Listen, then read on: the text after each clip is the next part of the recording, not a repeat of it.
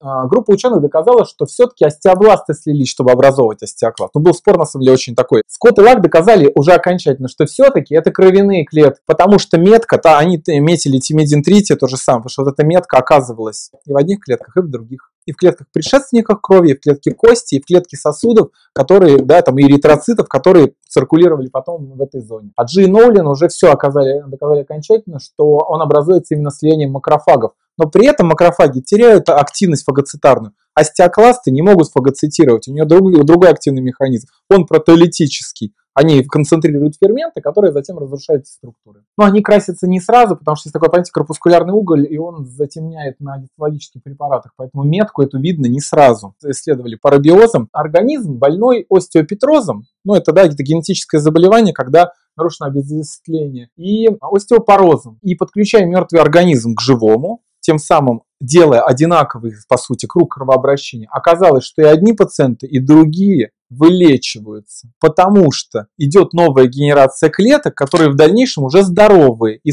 будучи способны плодить себя, себе подобных, генерировать новые популяции клеток, уже здоровых, которые э, обеспечивают нормальную минерализацию межклеточного вещества. Ну вот как раз эти клетки. Вот тут две метки в клетке, тут одна, и тут по одной метке. Это все клетки, образованные из одних предшественников. Это подтвердило то, что клетки, а, образующие кость мезонхимальные, они являются стволовыми, по сути, потому что они могут образовывать разные генерации и могут превращаться из одной структуры в другую. Вот так выглядит гофрированная каем. Она содержит очень много вуколи с ферментами, в том числе крупных. А вот так выглядит участок, какие-то более уплотненные участки коллагена, она имеет определенную полярность, и вот эти крупные ферменты выделяются туда, тем самым обеспечивая лизис межклеточного вещества. Поэтому щеточная каемка, вот здесь она была, она принадлежит кости, это является структурой кости, представлена толстыми пучками коллагеновых волокон, освобожденных от межклеточного вещества вокруг себя. А все-таки гофрированная каемка – это структура именно остеокласта, вот это Ниша Хаушипа, картинка 52 года. Это происходит ориентация остеокласта к межклеточному веществу, формирование да, первичное. Щеточной каемки, вот активная работа, и вот она щеточная каемка как выглядит, как щетка кондрогенный слой нахрящницы. В дальнейшем он, к сожалению, редуцируется, и там остается одни волокна коллагена, потому что хрящ конечно растет, он не может расти бесконечно. Это отличает хрящ от кости. Образование периостальной почки происходит, это лапа кролика. У нас происходит центр окостенения вблизи расположенного сосуда, а здесь наблюдается лизис. Это вход сосуда. Вот эта компактная кость растворилась для того, чтобы туда вошел сосуд. Это физиологический механизм, при росте это возможно, а дальше нет, потому что как бы это требует много времени. Как регенераторный механизм мы не можем это использовать, потому что у нас время, мы его теряем у нас кальцинирует, да, хрящ образуется, который кальцинируется. Здесь формируется центр окостенения, это количество большое остеогенных клеток, которые активно пропитаны сосудами.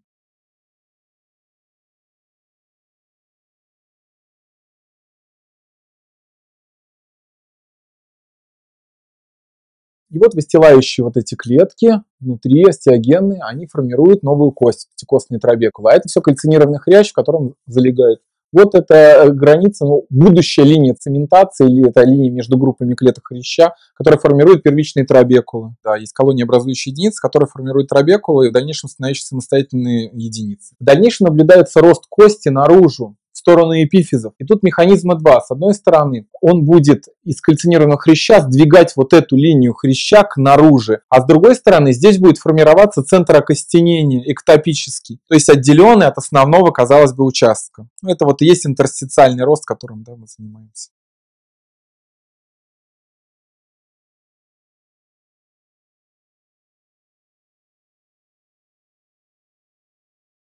Здесь идет уже компактизация, здесь повторно образуются полости с рыхлосветительной тканью и костным мозгом. А эти пластинки становятся компактными. Видите, как они интенсивно окрашиваются. А туда в обе зоны билатерально происходит дальнейшее замещение хряща кальцинированной новой костью.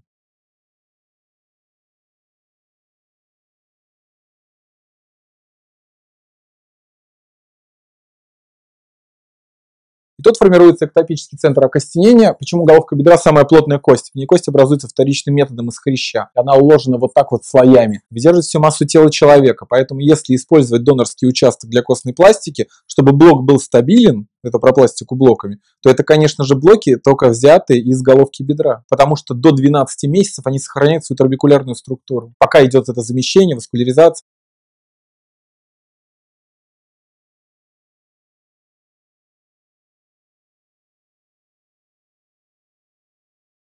Этот процесс продолжается, он интенсифицируется. Вот это участки, это новые костные трабекулы между группами клеток кальцинированного хряща. Вот в этой зоне происходит, это зона да, метафиза, небольшой хрящевой участок, который все-таки сохраняется для выполнения определенных механических функций баланса.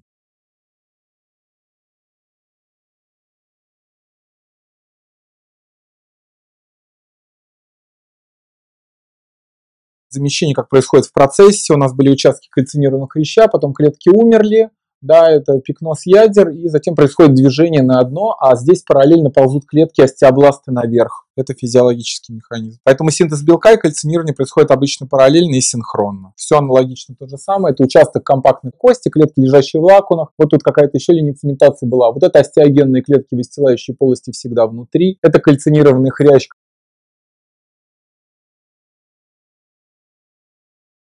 это кровеносный сосуд, который залегал, это стекловидные клетки, а вот это клетки остеобласты, которые выходят из сосуда. И они затем вот будут между группами клетки, вот это еще это а, пикноз ядра хрящевой клетки. В дальнейшем они будут вот сюда адгезироваться и формировать новую костную ткань, костную трабекулу. Поскольку кость растет по оси, э, да, продольно, то, соответственно, происходит параллельное отделение, увеличение кости туда, а здесь замещение постепенное до определенного состояния.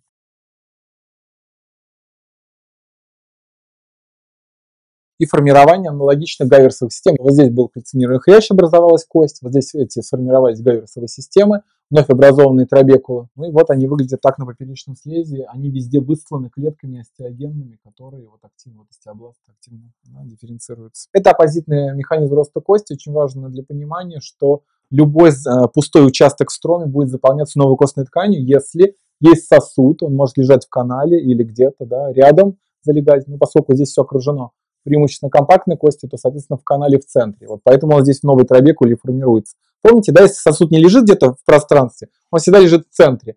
И поэтому вот откладывается слой клеток 4-12 микрон.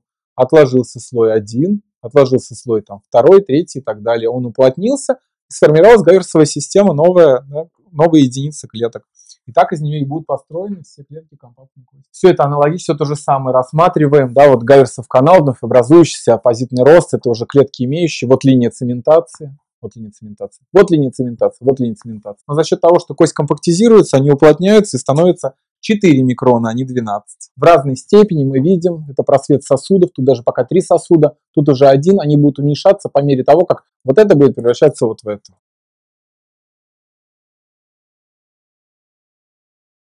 Чем заключается цинга? В том, что останавливается синтез межклеточного вещества. У нас есть минерализация, а нет межклеточного вещества. И поэтому да, костная трубка становится очень тонкой, и кости легко ломаются. Недостаток это приводит, конечно же, да, недостаток витамина С, потому что они изменяют сосудистую проницаемость. Почему пациентам надо пить витамины всегда вообще, если им какое-то, тем более, хирургическое вмешательство?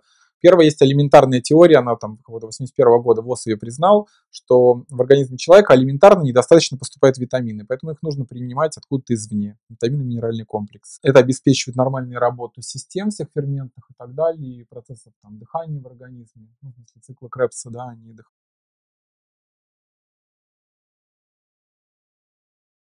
Тут есть участки, нет межклеточного вещества, есть минерализация, оно становится такое, как пустое, очень редко и пустое.